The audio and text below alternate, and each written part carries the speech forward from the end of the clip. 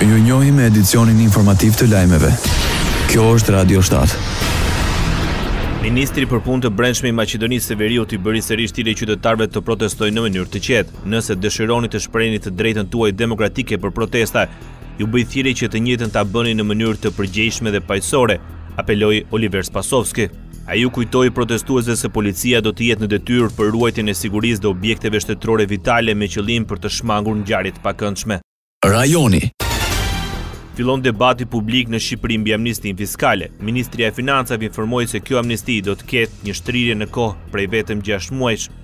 Ministria e Financave informoi se kjo amnisti do të zbatohet vetëm për nëntë muaj. Ndërkohë, do të krijohet edhe një njësi speciale për të ndërvepruar me të gjitha institucionet që kanë si objekt hetimin mbi krimin dhe korrupsionin. Në përfundim të afatit pesë ditor, administrata tatimore do të japë një vërtetim nëpërmjet të cilit të gjithë individët apo bizneset mund t'i drejtohen sistemit bankar në mënyrë që të paguajnë një tatim të posaçëm i cili është parashikuar për të paguar për legalizimin e kapitaleve, qoftë ato kesh apo asete. Kjo normë tatimore e reduktuar, për sa i përket keshit dhe aseteve, është shtatë për qind për katërmujorin e parë të zbatimit të ligjit dhe dhjetë për qind për pesëmujorin e dytë të zbatimit të ligjit. Sipas ministres Ibrahimaj, përmes kësaj amnistie do të synohet që paratë nga puna e padeklaruar të legalizohen.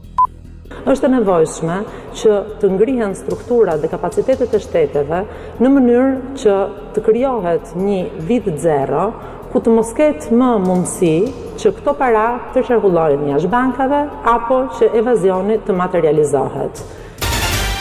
Zëvendëskryeministri i Shqipërisë e shikon amnistinë si një mundësi për ringritje ekonomike të vendit. I pranishëm në konferencën për media të mbajtur në Tiranë, Arben Ahmetaj, tha se amnistia fiskale është një instrument i jashtëzakonshëm, shumë i rrallë ose një herë në jetë dhe tenton të garantojë likuiditetet e domosdoshme.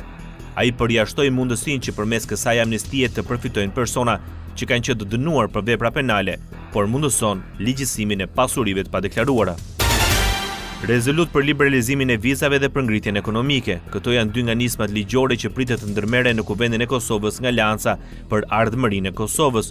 Projektet u paraqitën përpara publikut nga shefi i grupit parlamentar Besnik Tahiri. Ai kërkoi seriozitet për trajtimin e çështjes së regjimit të vizave. Ajo që shohim nga kjo qeveri është një mungesë serioze e vizionit. dhe përkushtimet për të adresuar agjendën evropiane dhe në këtë rast edhe për të ngritë një çështje në instancën më të lartë. Në lidhje me çështjen e rritjes së çmimeve, Tahiri paralajmëroi se vendi është duke shkuar drejt kolapsit.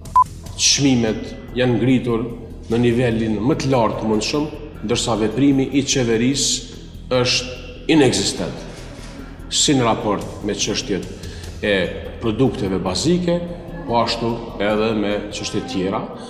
Radio shtatë, zëri pozitiv i qytetit. Vjosa Osmani kërkoi nga ministri i Jashtëm polak dhe kryesuesi i OSBE-së, Zbigniew Rau, mbështetje për integrimin e Kosovës në Bashkimin Europian. Presidentja tha se Kosova është e përkushtuar të kontribuojë në mënyrë aktive për një Europë të bashkuar. Osmani më tej shtoi se Kosova ka shënuar progres të vazhdueshëm në forcimin e ligjit, demokracisë dhe të të drejtave të njeriut. Presim përkrahje në rrugëtimin tonë euroatlantik nga shtetet që ndajnë vlera të njëjta, shkroi Vjosa Osmani në Facebook. Kryeministri i Malit të Zi, Dritan Abazoviç, paralajmëron dorëheqjen. Deklarata erdhi teksa Shefi i qeverisë komentoi njoftimin e partisë Mali i Zi Demokratik, e cila paraprakisht tha se ai duhet të japë dorëheqjen pas zgjedhjeve të organeve të drejtësisë. Abazoviç tha se në parim mbështet qëndrimin, i cili i bëri thirrje Kuvendit që të mos shqyrtojë nismat e mundshme për shkurtimin e mandatit para se të zgjidhen katër anëtarë të Këshillit Gjyqësor, dhe së paku një gjyqtar i Gjykatës Kushtetuese. Abazoviç më së shumti u kritikua për pranimin e nënshkrimit të kontratës shtetërore me Kishën Ortodokse Serbe. Ndoqët lajmet shkurt në Radio 7, zëri pozitiv i qytetit.